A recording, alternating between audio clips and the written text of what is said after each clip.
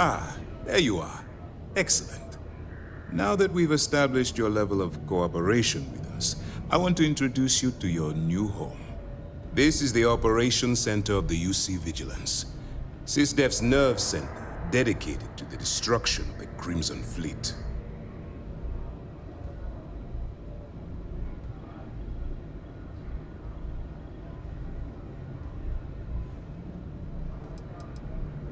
We are currently in the Sol system, in deep orbit around Phobos. As to why, I'll explain momentarily. Hmm, that's strange. According to your file, you've encountered them before. On Vectera specifically. They were the pirates that attacked your mining outpost? I'm surprised you don't remember.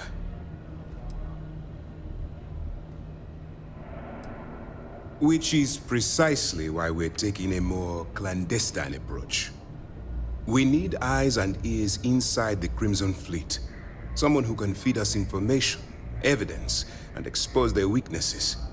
The catch is that you can't just knock on their front door and ask for an application.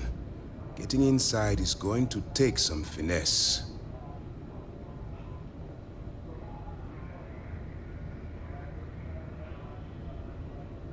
I do. Our intelligence has managed to find a possible opening into the Crimson Fleet through Saoirse Bolden, one of their contacts. She works for the Trade Authority in Cydonia, so you'll be using a container of Aurora we've loaded on your ship to get her attention.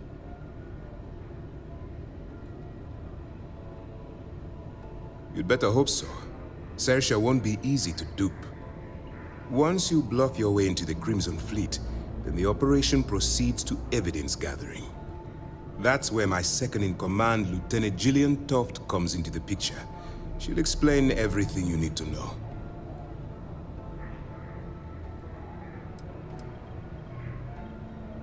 If I didn't have confidence in your abilities, we wouldn't be having this conversation.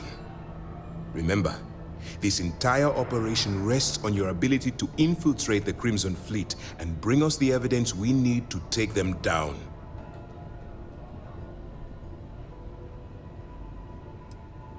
Fine. Whatever gets the job done. Look, before you begin, I want to make something perfectly clear. As an undercover operative for UC SysDef, you'll be expected to follow our code of conduct and ethics. Allow yourself to stray too far off the path, and you stand a good chance of spiraling out of control.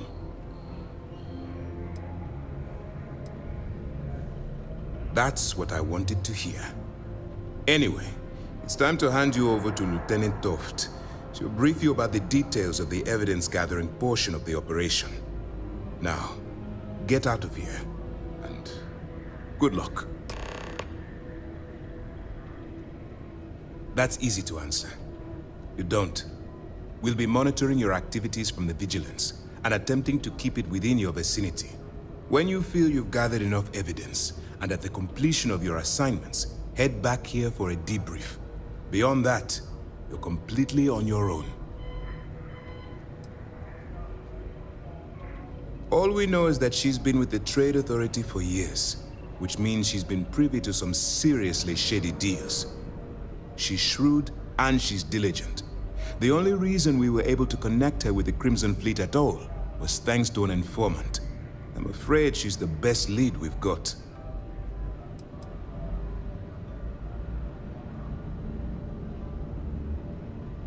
For your own safety, nobody but myself and the crew of the Vigilance will be aware that you're working for the United Colonies.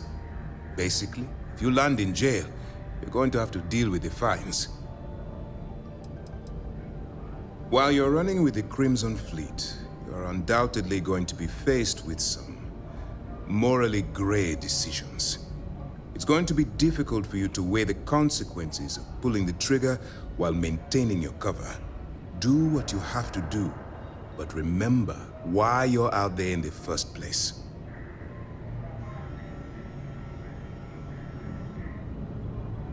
That's why I expect you to constantly seek alternative means to overcome your obstacles, rather than blowing holes in them.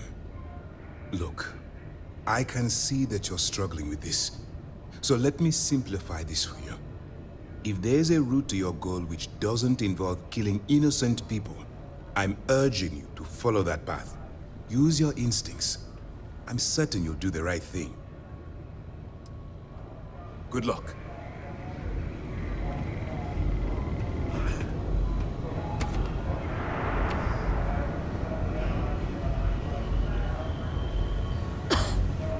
Right. We don't have a lot of time, so I need you to listen up. While you're working undercover, it's imperative that you gather as much evidence as possible. If you find any records that look suspicious or incriminating, you bring it to me. Is that understood?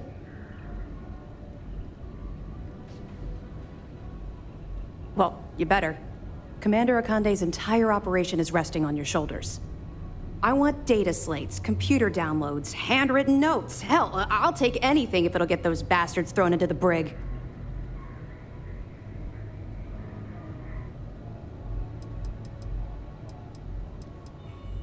For the sake of the settled systems, I hope you're right. That minor skirmish you had with them on Vectera was nothing compared to the death and destruction those pirates leave behind. If you've seen what I've seen, you'd understand why I'm pushing you so hard.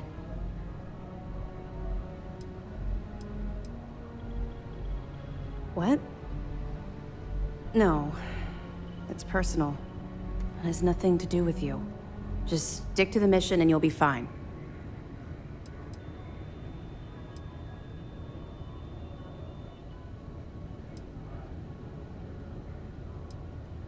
Then you'll understand why it's so important that this operation is successful. Anyway, before I let you go, there's just one more thing. Commander Ikande has authorized a credit disbursement for each piece of evidence that you return, as compensation for your efforts.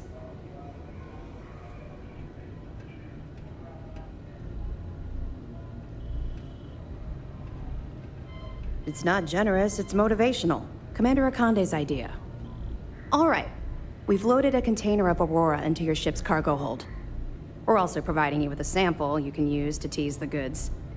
We've cleared your ship for launch. Proceed to Cydonia. Make contact with Saoirse Boden. And with any luck, she'll point you to the Crimson Fleet. That should do it. You're dismissed.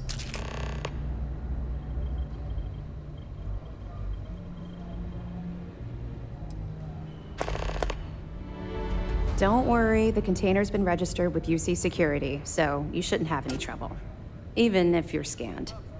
Of course, if we find out you tried to sell it to someone outside the boundaries of this particular operation, well, I don't think I need to tell you the consequences of making that mistake. We'll be keeping them close at hand until this operation is complete. So, we'll be holding them in the Vigilance's brig. If you're feeling particularly ruthless, you could always head down there and say hello.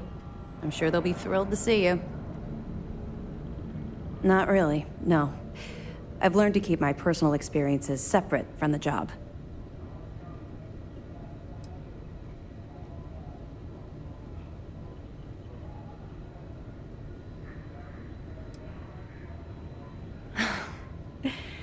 That's a fine point, but in my defense, I was under orders to make sure we weren't pulling some kind of psycho into the mix.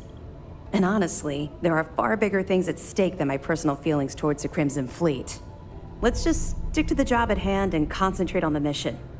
But, uh, maybe we can talk about it some other time, okay? We'll be here if you need us.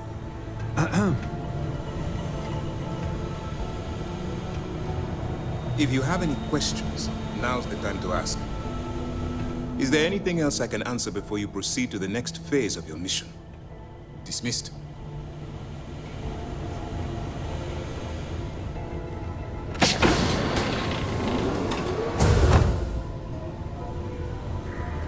Excuse me. Howdy.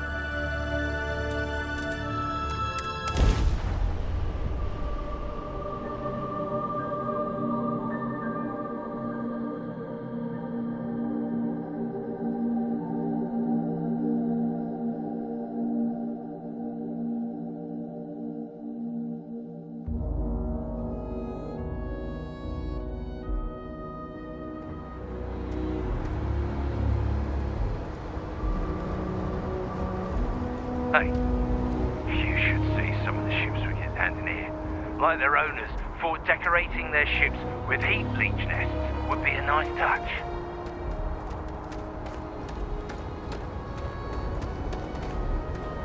Gotta be honest, I'm a little surprised every time this ship makes it back in one piece.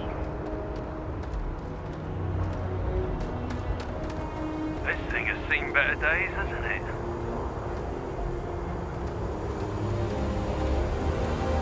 These Team Power ships are killing me. Okay, no problems there. That looks good. Intake, a bit clogged.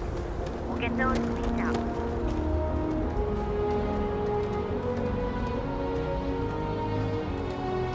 Hey, what can I do for you? And here's your new captain. My crew can take a look at your ship, and you can stop by the Trade Authority kiosk if you need to offload some cargo.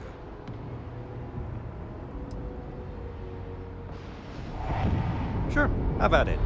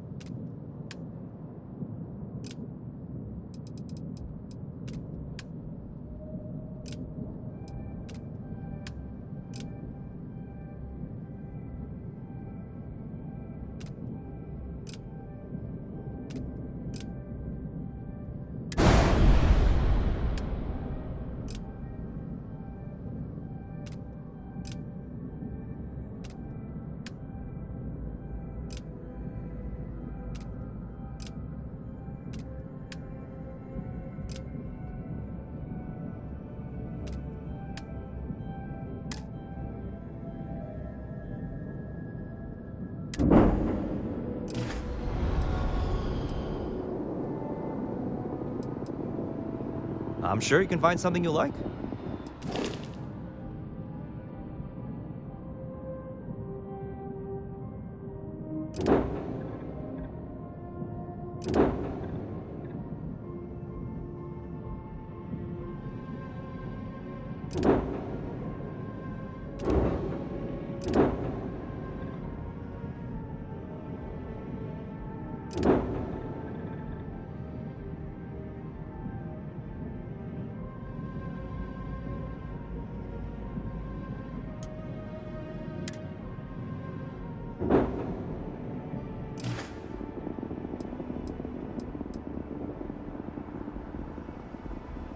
Everything looks good here. I'll be at my booth if you need me.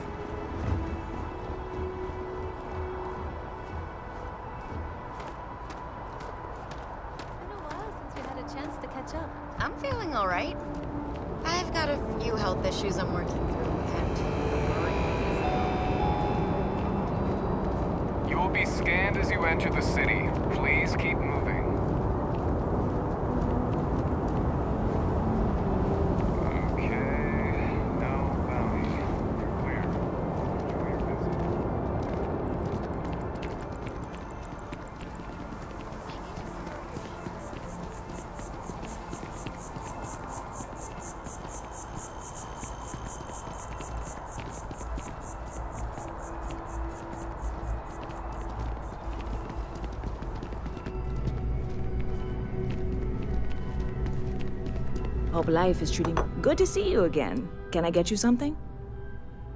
Sure thing. What can I get you?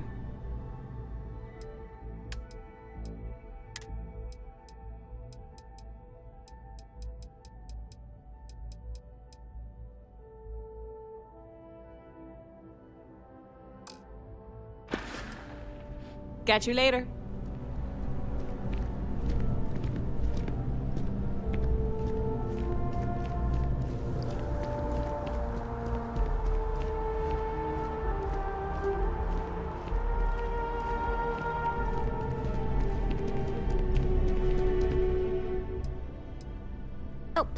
Take a look.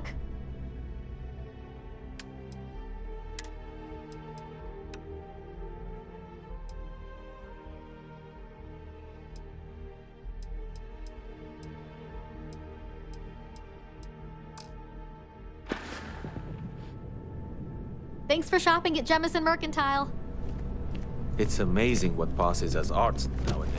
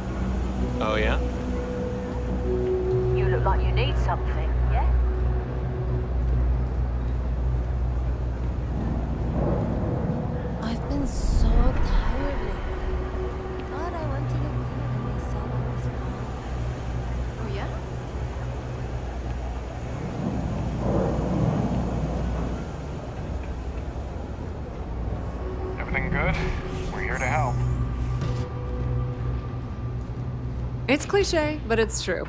Everything has a price. And whatever it may be, I can afford it. Welcome to the Trade Authority. If you're here on legitimate business, I would be more than happy to help you. If, however, you are here under false pretense, say, sent by one Miss Tsang of UC Distribution, then I'm afraid you'll find nothing illegitimate here to report to her. And I'd ask that you pass along my request to stop these silly games. So, What'll it be?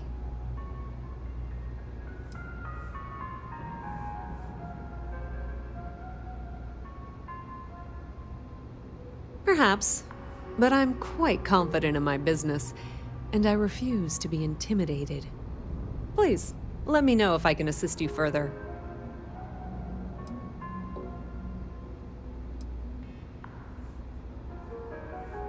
Ah, yes, I've been expecting you. Here's your package. And don't worry, I've already corrected the ownership record for you. Nothing. Nothing at all. Thanks for your business.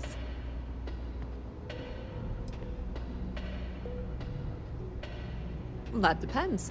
If you have a ship and are willing to haul cargo, then we've got some work. Otherwise, you're gonna have to be more specific. We frequently post cargo running jobs up on the mission boards around town. Check them out. I've heard our jobs pay well, and on the off chance that's not what you're looking for, well, I can't really help you then. Be my guest.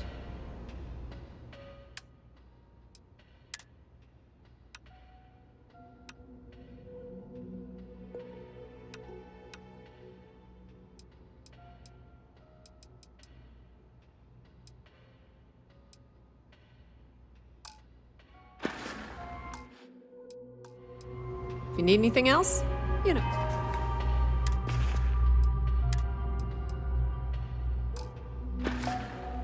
Where to find us. The Trade Authority has access to good. You won't find a better selection or more reasonable prices anywhere.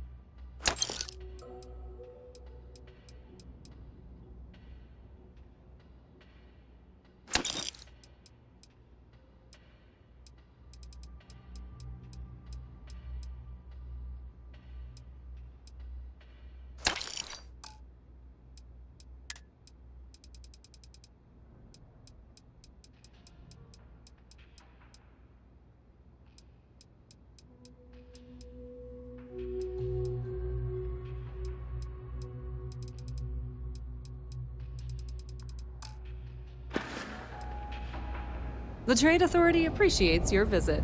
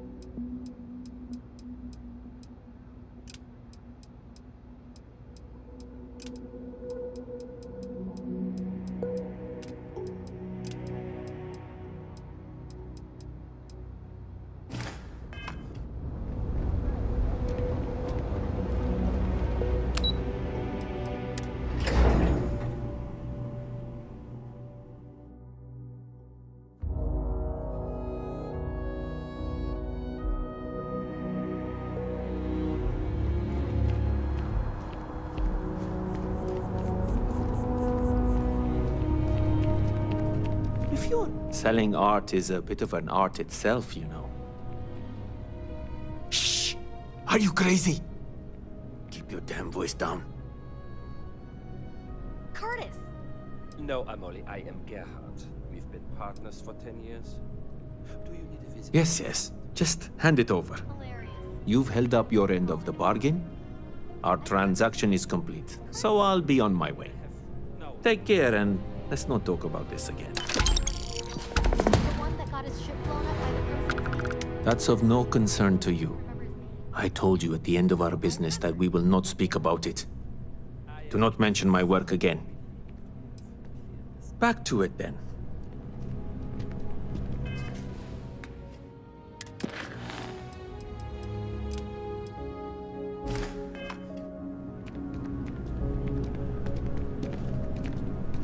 You look like someone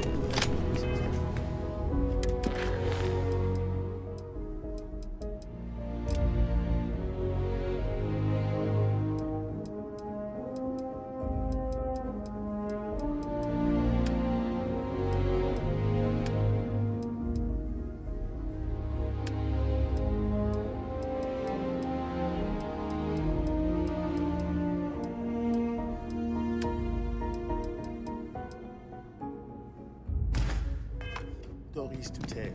I am not trying to pest you, but I really do need that credit So much to see, cover for last month. so much to learn.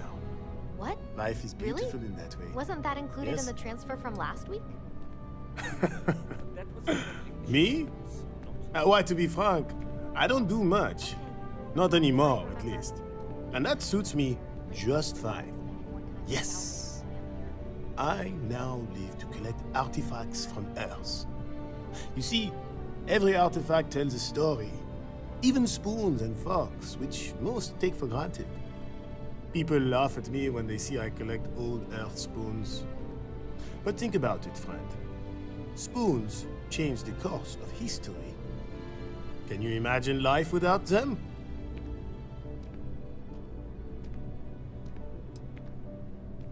Ah, the usual things, I suppose. Fame, fortune, power. I'm only joking, of course. I've actually been fortunate to call New Atlantis home for many years. For a collector, like myself, I do believe there's no better place in all the settled systems. I've been charmed to make the acquaintance of many fellow old Earth enthusiasts here in New Atlantis. And that is why I continue to stay.